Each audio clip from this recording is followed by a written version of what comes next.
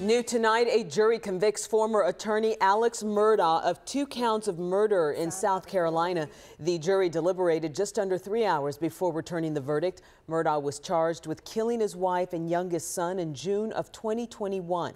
Prosecutors are asking for a life sentence in the punishment phase. Murdaugh also faces 99 separate charges and alleged financial crimes, including defrauding his clients.